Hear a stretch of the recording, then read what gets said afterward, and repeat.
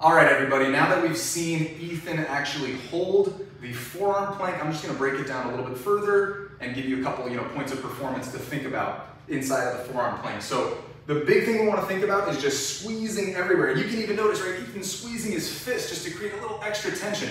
But the big things are squeezing your glutes, squeezing your quads, and trying to stay tight through your abs. That's what a trainer means when they say, you know, get tight in your core. Squeeze the glutes, squeeze the quads, squeeze through your abs, and the final thing, you're trying to create protraction through your shoulder blades, right? You can basically see that there's actually some nice rounding going on because Ethan's actively driving away from the floor so well. So those are the things you want to think about in your forearm plank. Have fun and uh, be your best.